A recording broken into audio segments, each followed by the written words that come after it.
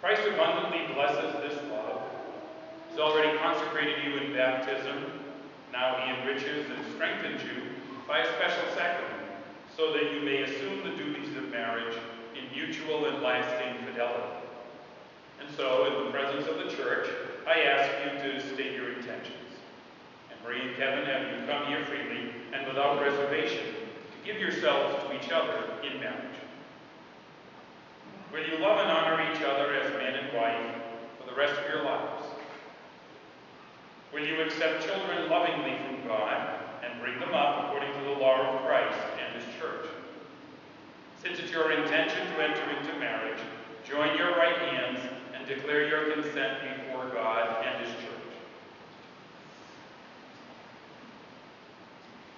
I, Kevin, I, Kevin, take you in take you, Anne Marie, to be my wife. to be my wife. I promise to be true to you I promise to be true to you in good times and in bad, in good times and in bad, in sickness and in health. in sickness and in health. I will love you I will love you and honor you and honor you all the days of my life. all the days of my life. I, Marie, to be my husband. I promise to be true to you in good times and in bad, in sickness and in health. I will love you and honor you all the days of my life. You've declared your consent before the church. May the Lord, in His goodness, strengthen your consent and fill you both with His blessings. What God has joined, men must not divide.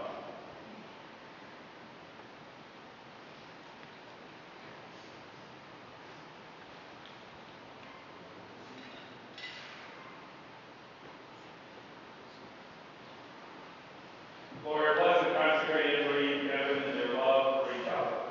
May these rings be a symbol of true faith in each other and always remind them of their love.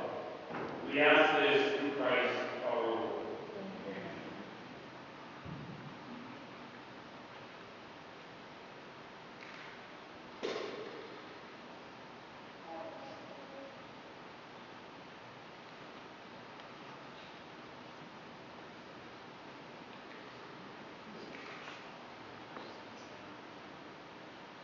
Anne Marie, take this ring as a sign of my love and fidelity. In the name of the Father, and of the Son, Son, and of the Holy Spirit.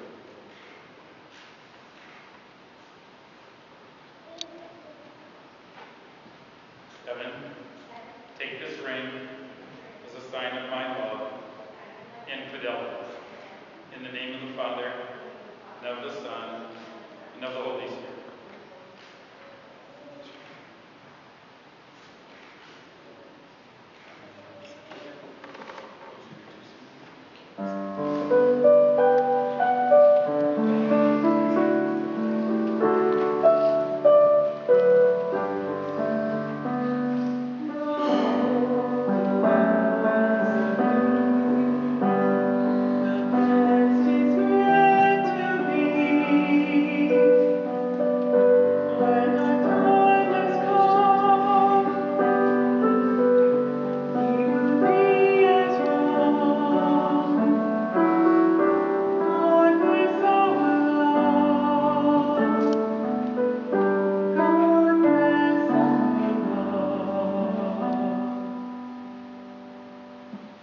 Now that we've heard God's